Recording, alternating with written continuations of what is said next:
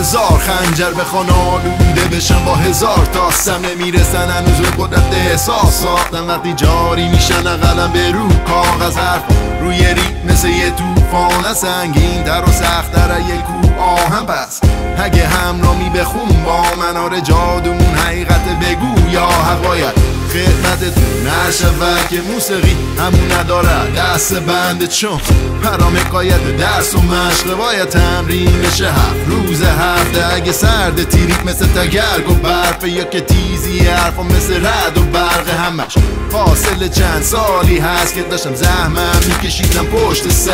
ولی نمی‌خوام سرتون درد یادش دست. رو دلم نذار که غم زیاده. مثل بعضی دلشون گپ زیاده ولی نمی‌خوام بگن همش سخت. یا که توی راشون بوده اگه آشوب بوده نمیگم مشکلاتو میگن آسون بوده. اگرم پشتشون ضربه باتون دیده مثل گرگی که باد و بارون دیده میونه سختی ها دلشون آروم بوده تو بدبختی ها هم دلشون آروم بوده میونه سختی ها دلشون آروم بوده تو بدبختی ها هم دلشون آروم بوده. وقتی یادمه بودم رو قلم به دست. وقتی تنها شدم وقتی دلم شکست.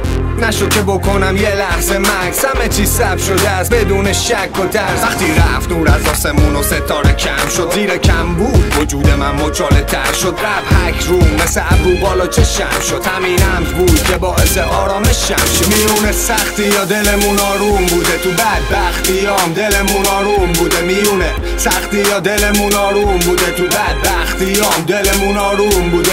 آره آروم بوده دلاشون تو گرم و سرما مثل بری که زرد نشه با تغییر فصلا. زیاد فرق و مثل کویر و دریا. بزا دل آرام شه با این سمپل سر تا رفت. افتخار توش دکم و بس این یه رابط از بین مز و قلم و دست. آره همیشه بوده خب هدف من. بهتر شده میره جلو قلم یه سر می نویسه تا که برسونه عرش و فرش رو. به هم واسم بوده مهمتر از درس و مشق و یکم. روش اون به من درک کن حرف و مثل بقیه نباش. یکم فرق کن پس و آره امین. با جادوگر و داستان دارن. می نویسم میرم جلو راه بازه واسم. چون حس دارم حرف دارم من آسون شه می نویسم می‌خونم تا دل آروم شه